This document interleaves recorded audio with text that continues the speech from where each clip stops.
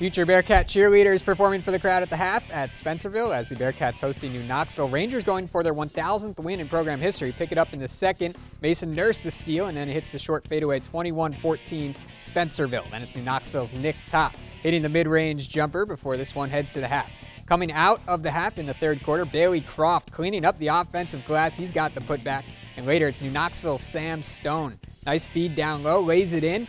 Double overtime this one goes, and Spencerville gets the seven point victory 59 52.